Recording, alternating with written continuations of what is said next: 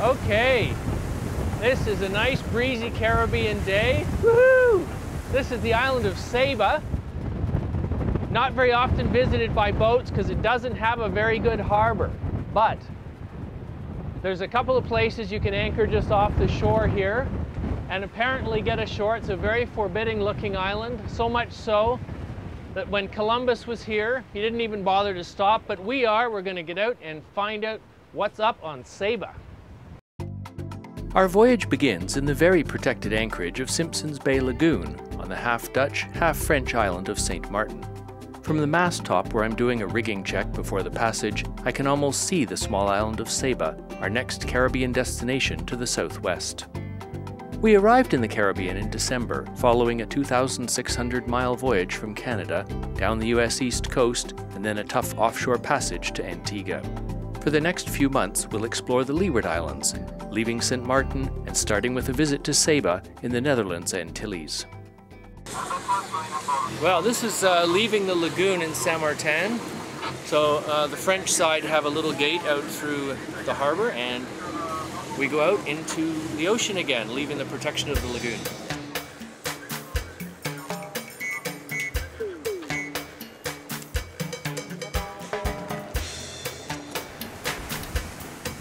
From St. Martin, it's about a 30 nautical mile sail to Saba.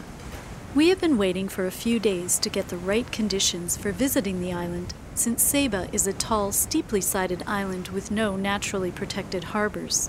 The only anchorages for visiting sailboats are exposed open roadsteads, so if you want to visit by boat, you need a forecast of easterly winds with little or no swell from the north. Then you can tuck in behind the island on the west side to be out of the constant trade winds.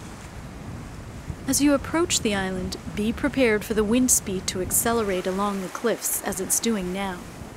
But once you're behind the island in the anchorage in Wells and Ladder Bay, conditions will become more benign. The entire coastline surrounding the island of Saba is a marine park, and moorings have been installed to protect the marine environment. Sheryl prepares to pick up the floating line with a boat hook while I maneuver the boat. It's a bit tricky with the gusts coming off the cliffs. It looks like a couple of other boats have taken advantage of the weather to visit Saba as well. The mooring consists of a huge concrete block on the bottom, some heavy chain, and a thick line up to the yellow float. A pennant floats off that for us to tie to. Sheryl runs our own lines through the pennant loop to prevent chafing of the park's lines, and the boat is secure.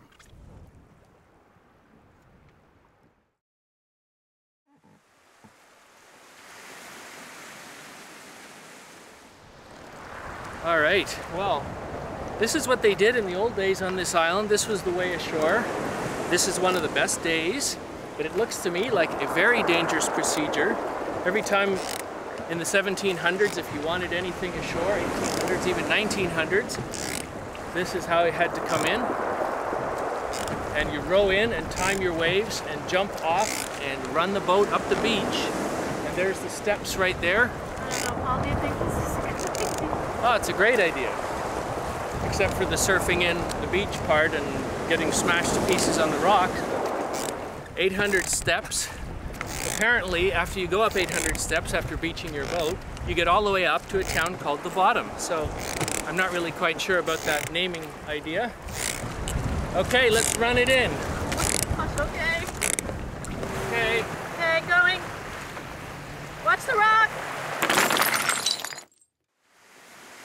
We barely make it just carrying our camera. How did they do it with full loads?